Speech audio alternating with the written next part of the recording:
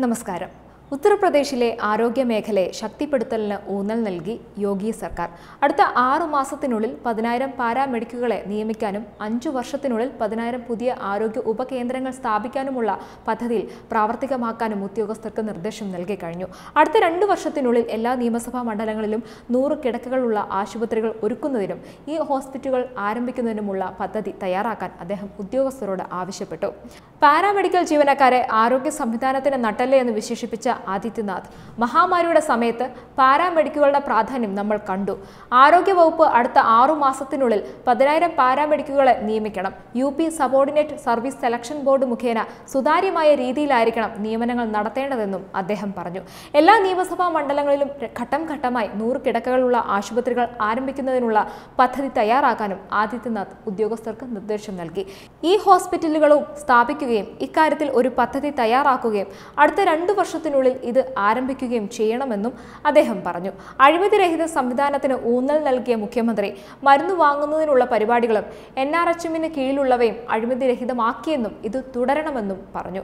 അഴിമതിയുമായി ബന്ധപ്പെട്ട ഏത് പരാതിയും കർശനമായി കൈകാര്യം ചെയ്യണമെന്നും യോഗി പറഞ്ഞു. മന്ത്രിമാർ ഗ്രാമപ്രദേശങ്ങളിൽ സംഘടിപ്പിക്കുന്ന ആരോഗ്യ ഫെയർ സന്ദർശിച്ച് അവരെ മികച്ചതാക്കുന്നതിനുള്ള നിർദ്ദേശങ്ങൾ സ്വീകരിക്കണമെന്നും അദ്ദേഹം കൂട്ടിച്ചേർത്തു. നഴ്സുമാരുടെയും ഡോക്ടർമാരുടെയും അനുപാതം ഒന്ന് ഇസ്റ്റു ഒന്ന് ആയിരിക്കണമെന്നും ആവശ്യമെങ്കിൽ യോഗ്യരായ പ്രൊഫഷണലുകളെ തസ്തികൾ സൃഷ്ടിച്ച ശേഷം തിരഞ്ഞെടുക്കണമെന്നും ആദിത്യനാഥ് ആവശ്യപ്പെട്ടു. കഴിഞ്ഞ അഞ്ചു വർഷത്തിനുള്ളിൽ അയ്യായിരം ആരോഗ്യ ഉപകേന്ദ്രങ്ങൾ സ്ഥാപിച്ചു. അടുത്ത അഞ്ചു വർഷത്തിനുള്ളിൽ പതിനായിരം പുതിയ സബ് സെന്ററുകൾ തുറക്കുകയാണ് ഞങ്ങളുടെ ലക്ഷ്യം.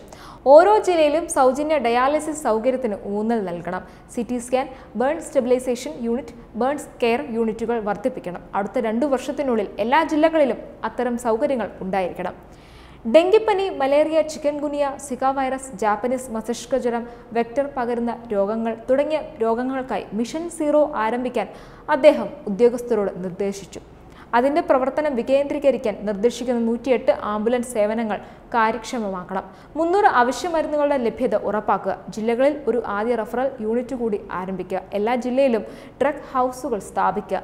ലക്നൌവിലെ കെ ജി എം യുവിൽ ക്ഷയരോഗത്തിന്റെ മികവിന്റെ കേന്ദ്രം സ്ഥാപിക്കുക. ശ്യാമപ്രസാദ് മുഖർജി ആശുപത്രി വിപുലീകരിക്കുക തുടങ്ങിയ നിർദ്ദേശങ്ങളും യോഗി പുറപ്പെടുവിച്ചു.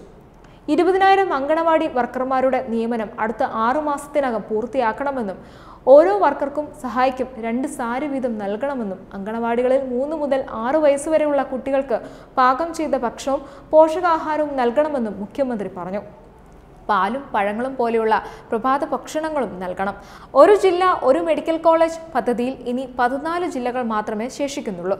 മുൻഗണനാക്രമത്തിൽ ഈ ജില്ലകളിൽ പൂർത്തിയാക്കണമെന്ന് മുഖ്യമന്ത്രി പറഞ്ഞു. തത്സമയ അടിയന്തര നിരീക്ഷണ സംവിധാനമുള്ള ആദ്യ സംസ്ഥാനം ഉത്തർപ്രദേശ് ആയിരിക്കുമെന്നും ഇതിനായി മൊബൈൽ ആപ്പും കമാൻഡ് കോൾ സെന്ററും ആരംഭിക്കണമെന്നും അദ്ദേഹം പറഞ്ഞു.